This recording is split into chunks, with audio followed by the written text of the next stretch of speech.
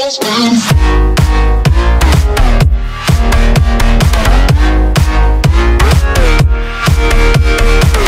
going on guys, my name is Drago and I am here with my WrestleMania, the ultimate thrill ride, WrestleMania, WrestleMania 33, actually it's just WrestleMania because nobody likes numbers anymore.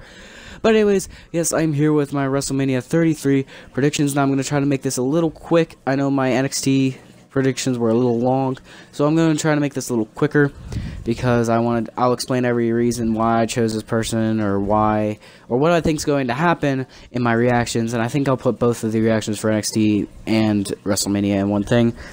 And oh my god, I just thought this weekend is going to be crazy. Friday is the Hall of Fame, Saturday's Takeover, um, Sunday's Mania, Monday's Raw, Tuesday's SmackDown, and Wednesday's NXT. Holy god. But anyways, I will guess I'll start off with the pre-show, which shouldn't really be much of the pre-show, but apparently it has been changed that the women's championship match is back onto the main show for SmackDown. If it's not, I'm still going to count as a pre-show right now.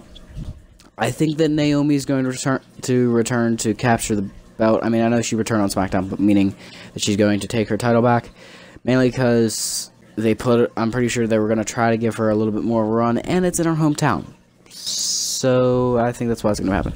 Moving on up in the thing, I do believe that it's the Andre the Giant Battle Memorial, the Memorial Battle Royal. I can never say that correctly. I've tried recording this so many times, but it just doesn't work. Then it I, it has to be Braun Strowman. I'm sorry. I really don't want it to be. I think Sami Zayn should definitely win it, but I have a feeling that Sami's going to last to the end, and then they're going to do the whole. Sami's gonna get real close, and then Braun's just gonna toss him. Then everybody's gonna be sad because I'm honestly I'm tired of seeing like gigantic superstars such as the Big Show and stuff like that winning. Like Cesaro was kind of cool because Cesaro is fantastic, but back when Cesaro won it, it didn't really do anything for his career. He just got a slight push, and it kind of died very quickly.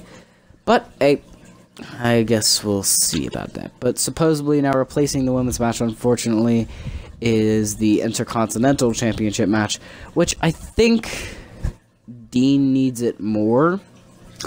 But I think Baron's going to win it, just because they like Baron Corbin. And this feud, it's it's not really built very much. It was kind of built in like the last month of Mania and yeah, it was built. It's like it planted at Elimination Chamber, and then the rest was just attack and talking. Like there was no real feud to me. So I think the Baron's going to win, but I think they should keep it on Dean, just because Dean hasn't done anything with the title in 60 days on a live television show. I mean, he's defended the Intercontinental Championship in a dark match after SmackDown Live on March 14th, but obviously Dean won. So and then finally, unfortunately, it's the cruiserweight title on the pre-show, which is going to be, which sucks because I think it's going to be a really good match, and um, I think it's going to be Austin Aries. I think that they're going to give it to Austin Aries because it's Austin Aries, and he apparently has a very big package, and it's an impressive package. Moving on. Next is the Raw Tag Team Championship match, which I think that the club is going to retain. And if they don't, I believe it's going to Enzo and Cass. I don't think they're putting it back on Sheamus and Cesaro. But it'll be it's going to be interesting, I think. And then with the New Day hosting, I think that the Hardys might come back because it's only a like I think it's like an hour drive to the Hardys' last match in Ring of Honor for the contracts. And I think WWE has signed them. Speculation, speculation. Dave Meltzer. All right. And then um, next, I believe it is the women's championship match between Bayley, Sasha, Charlotte, and Nia Jax. And I think that